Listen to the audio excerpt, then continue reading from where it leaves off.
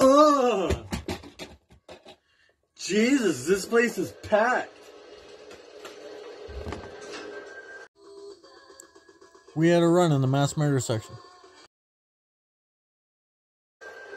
So you coming tonight? Yeah, I'm off early. Curfew, you know? Now that's poor taste.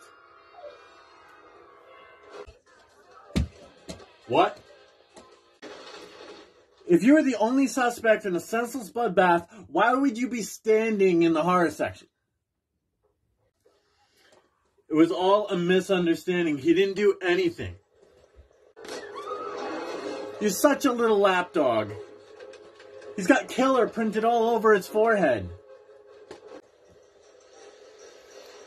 Then why'd the police let him go?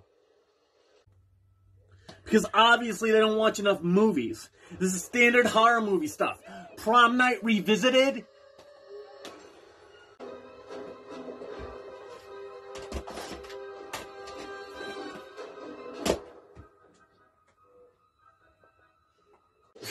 Why would he want to kill his own girlfriend? There's always some stupid bullshit reason to kill your girlfriend. That's the beauty of it all. Simplicity. Besides, if it's too complicated, you lose your target audience. So what's his reason? Maybe Sidney wouldn't have sex with him. She's saving herself, you know? Could be. Now that Billy's tried to mutilate her, you think Sid would go out with me? I think her father did it. How come they can't find his ass? Because he's probably dead. His body will come popping out in the last reel somewhere.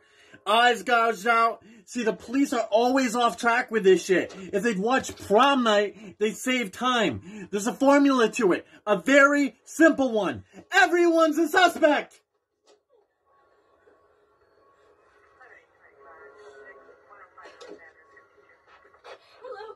Father, the principal, the town derelict, 261, Turner Lane, please. which is you.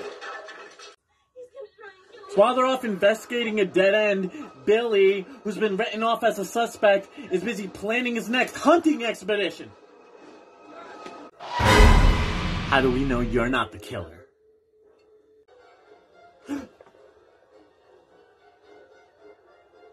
oh. Hi, Billy.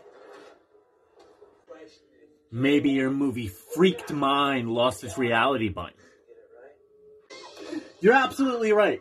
I'm the first to admit it. If this were a scary movie, I'd be the prime suspect. And what would be your motive? It's 1995. Motives are incidental.